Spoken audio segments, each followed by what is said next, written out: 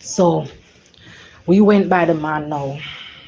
When I reach almost to the gate, the man says, Stop, stop, stop, stop, stop. And him blast two buckle of rum. And then he said, if you walk back way come in.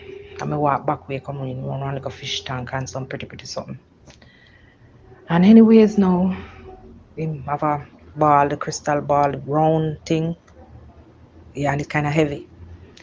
And him said, if I open out my hand, I open out my hand and I put it and him put it in my hand. When him put it in my hand, I pay fire him see night. Him said, Jesus. And him said, give me 10 minutes.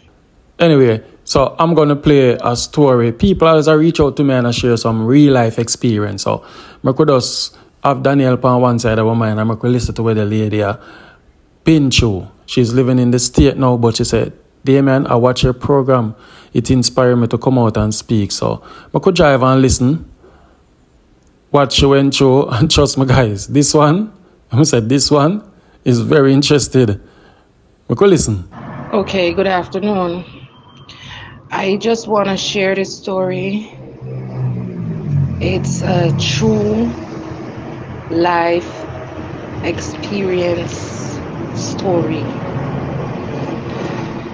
You see, I want to let people know that God God is real and he's here for each and every one of us.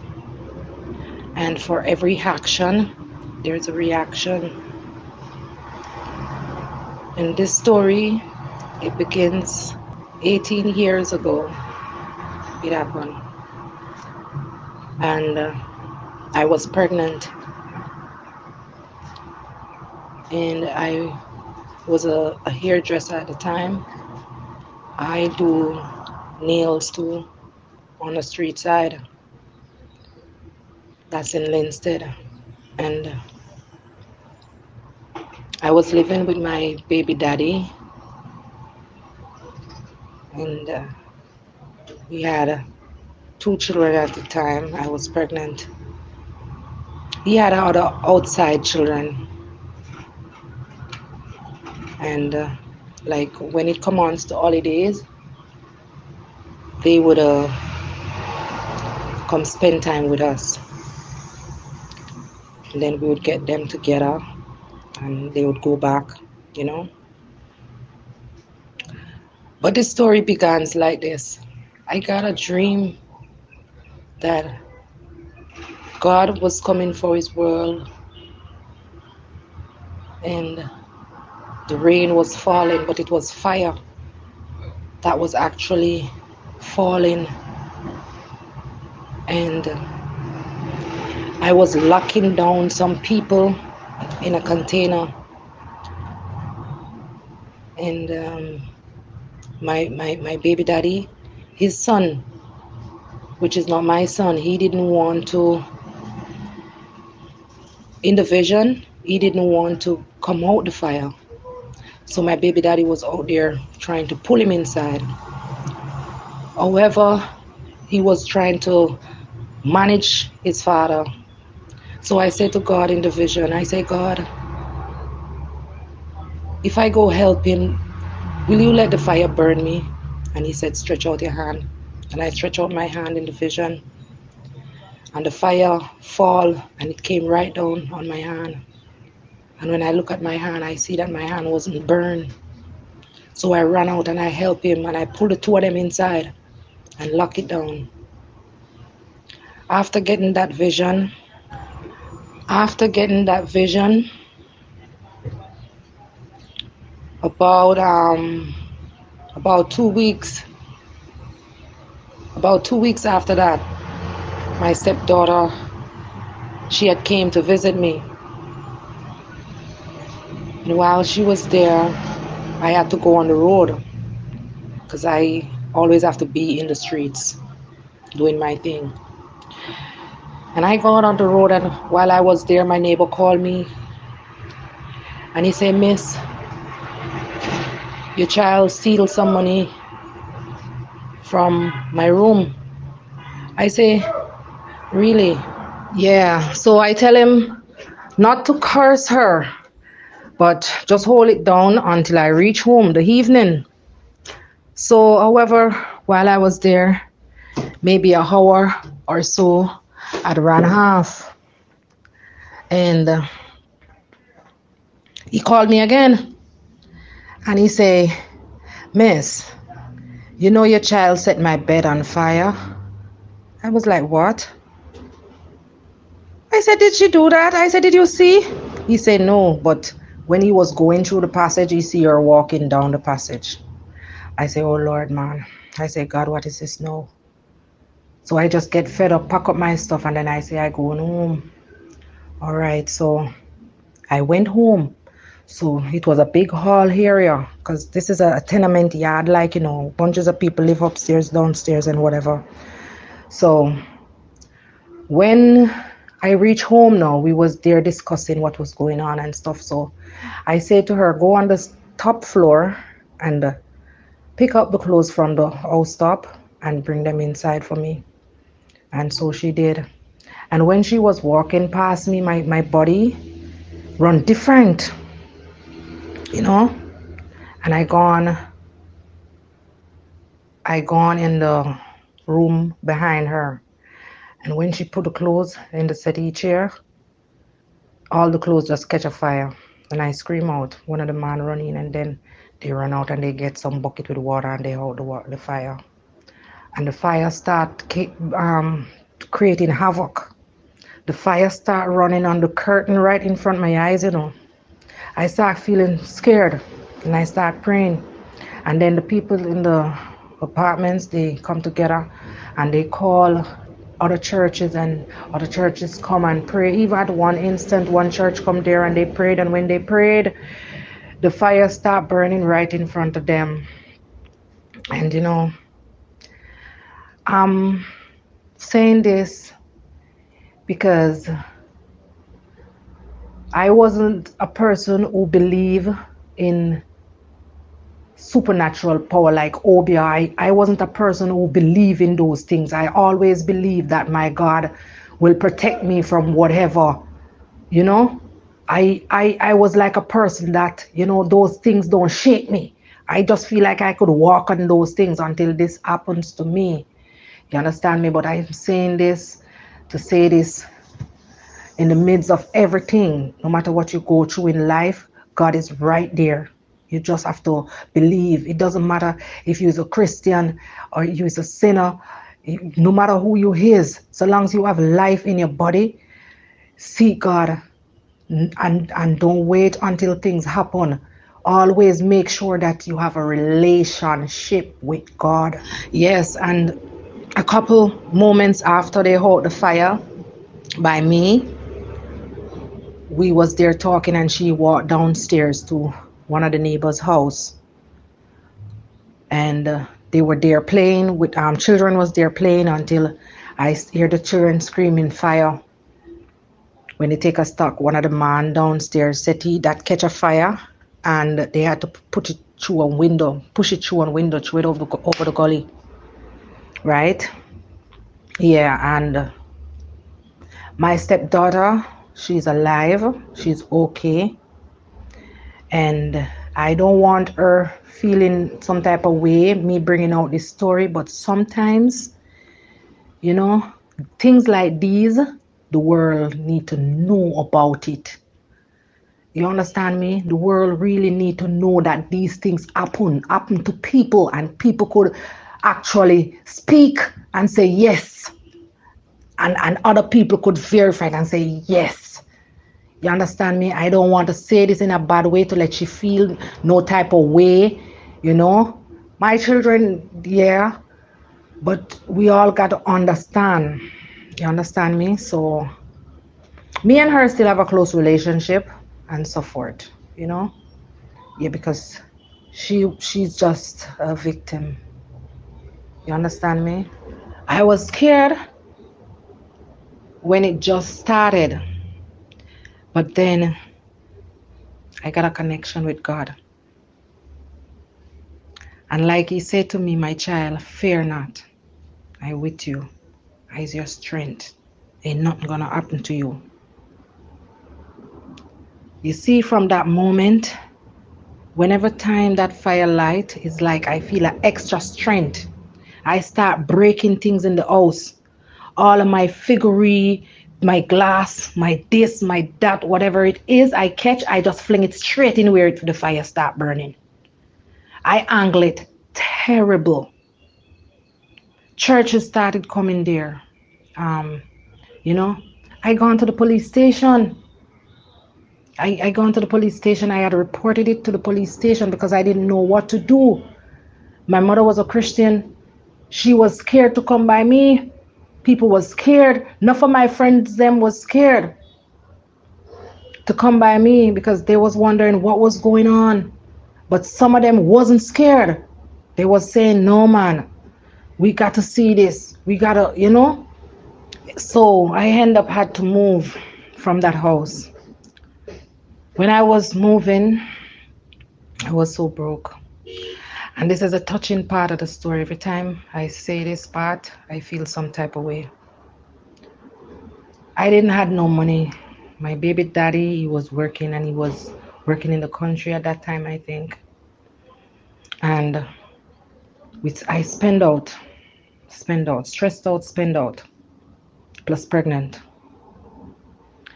And uh, I pack up all the stuff in the house, all the stuff you know. And uh, I start walking. And I was walking past one house and I see some big trucks over there, big Leyland trucks. And I press the buzzer and I see one guy run come to the gate. I peep through one little hole. And the guy said, Mom, can I help you? And I said, Who own those trucks? And he said, A big man him inside. So I say, tell him I have a problem. I need a truck. And he said to me, say, um, you okay? And I said, no, you know, I going through some stress and things. And I was starting to tell him, and he said, oh, you're the lady who live across there. I hear what's going on across there. And he called the man for me, and the man come. And when the man come, I start telling the man, and I said, the man say, I gonna give you my passport to hold on to. I have some money in fixed deposit. I'm gonna give you my bank book to hold on to. And I'm gonna make sure that you get your money. And he said, You don't have to do all of that. He said, I'm gonna move you. And I said, Okay. At that time I was only seeing the man face. I ain't seeing his whole entire body because I talking through him through a little hole by the gate. Then he said, Okay, go home. I coming right now. And then I go home when I was going through the gate, I reached right at the front part of the entrance. One lady was living across there, one whole lady. And she's saying, Boy, everybody moving, leave me. And that part of the story touched me too again, you know. And I said, Lord, I can't move, leave this lady. I don't know her, but I can't move, leave her. She was whole. She was 68 at the time and sort of truck came and we moving everything. But however, how I had getting a place to move, I know a policeman. So I had called him and tell him about the situation. And he had a friend who had a friend who had a empty house. So that's how I get the house. And I move, me, my children, and the same lady, and we move. When we reach by the place now, when we reach by the place, the truck reverse, back up and back up in the yard, close to the step. So the man come out the truck. When the man was coming out the truck, I see he swing down in a type of way, looking funny. So this is the part that I want to show you that God works in mysterious ways. When I look at the man good, the man only have one foot. And let me tell you, where we was moving from to where we was going, I was going up the hill. And that man draw some gear. And let me tell you something, my belly bottom cramp. I had to sit down on the step for like 20 minutes when I see that this man only have one hand and one foot. Who carry me there? Yes. So, however, we moved there. I feel like I was okay when I gone there. Anyhow, when I gone there, we sleep good the night. In the morning, here comes trouble. In the morning, I start smelling something smell funny. Then, when I take a stock, I see smoke coming out one of the drawers in the room. So I was like, but Jesus. So I call out to the lady now because I had given her the front row. And she said, What happened? And I said, Lord, it start again. And she said, What? What is this? I am 68 year old and I never experienced nothing like this in my life. What is this? And let me tell you something. I pull them clothes from the drawer and I throw them outside and I say, take them.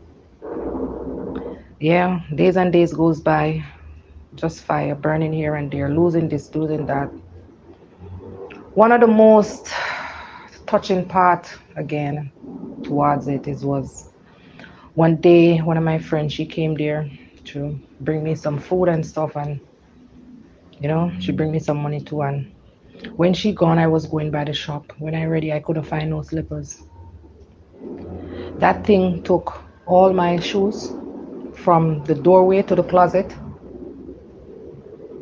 I couldn't find no shoes. I searched everywhere as a person of shoes. And I start getting mad. I take up the cutlass and I start walking around the yard up and down, up and down until I stand up. And I was looking down in the gully and I saw something like a blue bag or something like that.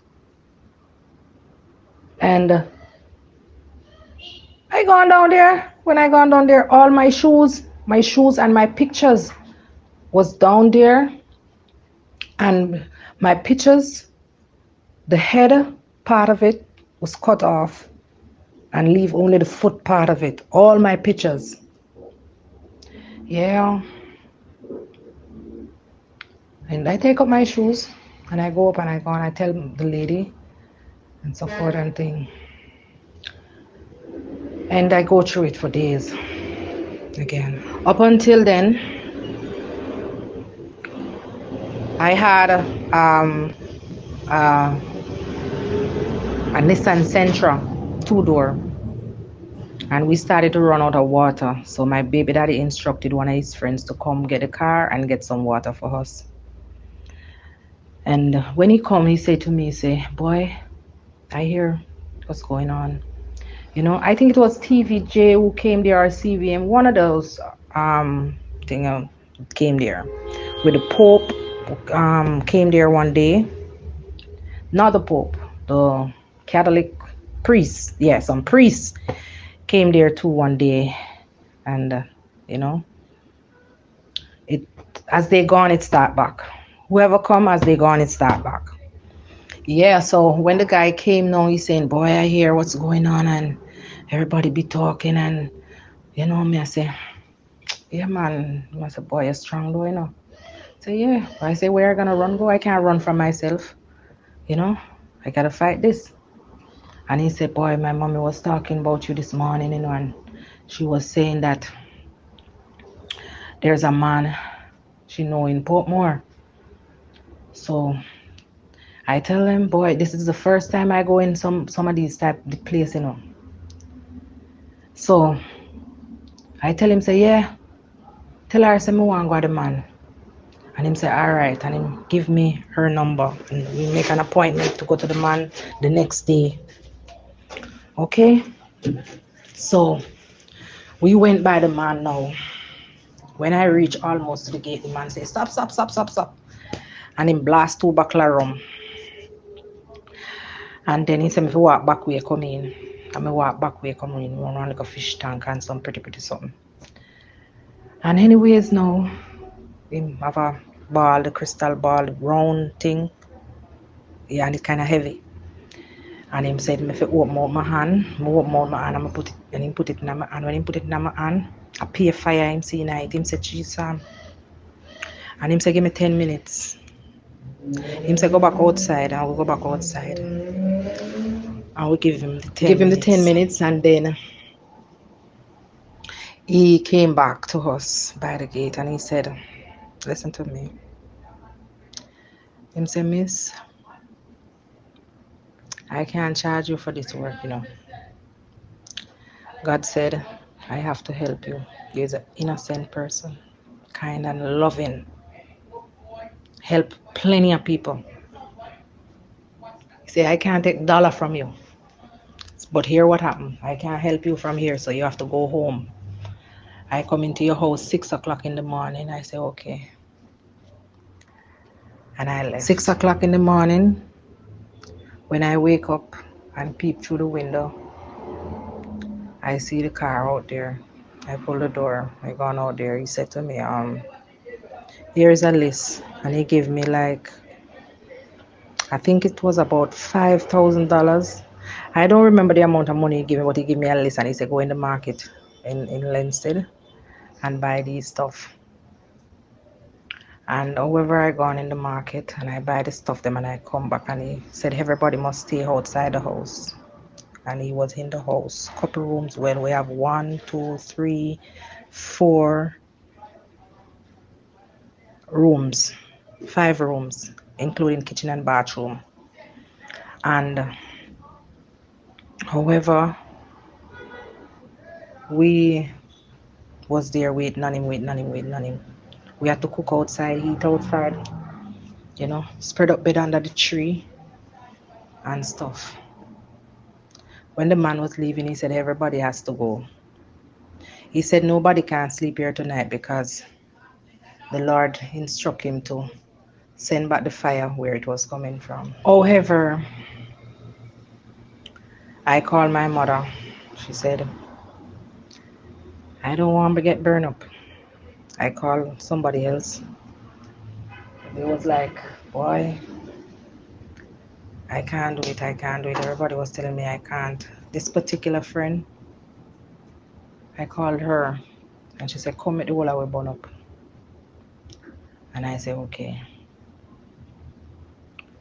And the lady, I had let she stayed with one of my friends for that night.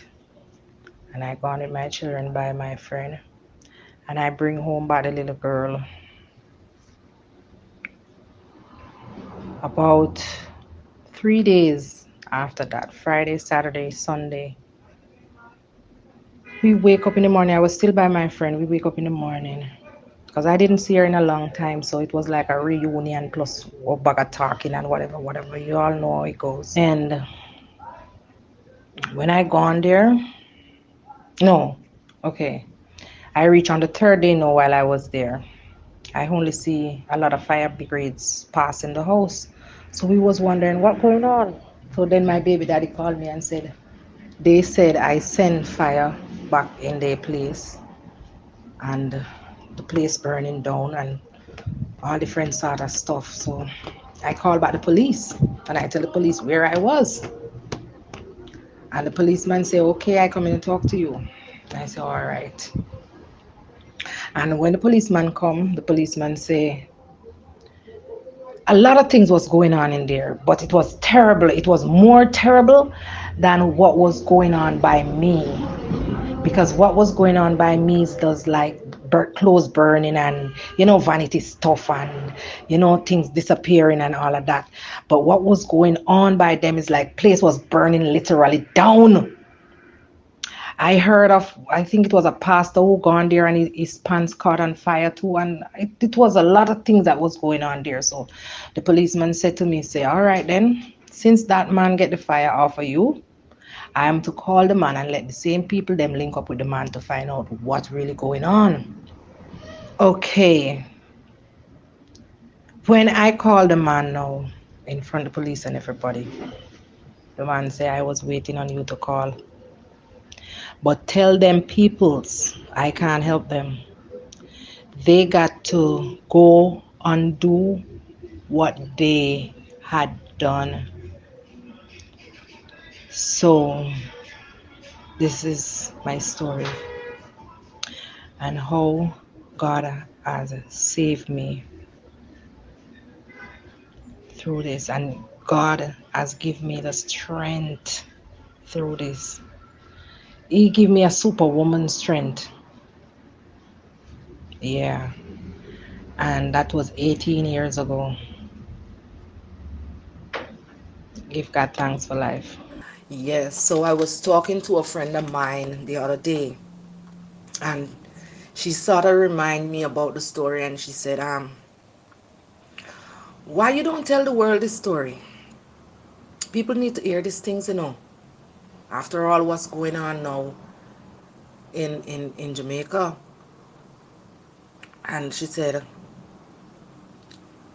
if you need to do a movie, you know, but um, I just want to say this to Jamaicans. You all need to have a close relationship with God and stop joking. Because this thing happened to me 18 years ago.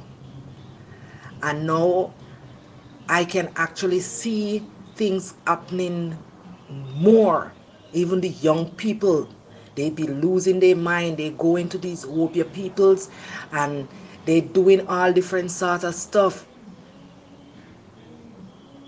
Um, young people draw close to god. Old people draw close to god. Medium-sized people draw close to god. Because it's only god alone who can save us through this what is going on now. I even hear an artist the other day be singing a song say when in reading ghana i hope your man. So it's like people ain't keeping no connections with god nowadays. People be drawing close to the devil swallowing up themselves. Understand me? So I beg my fellow Jamaicans, I beg them, please, please, there is a God.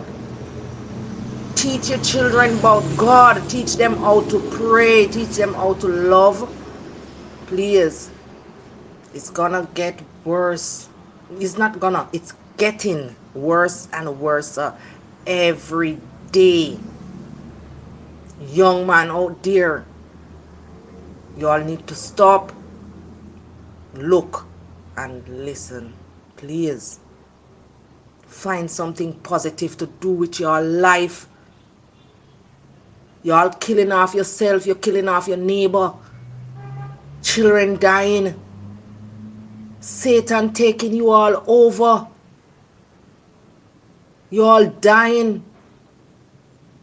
Stop. God is watching us.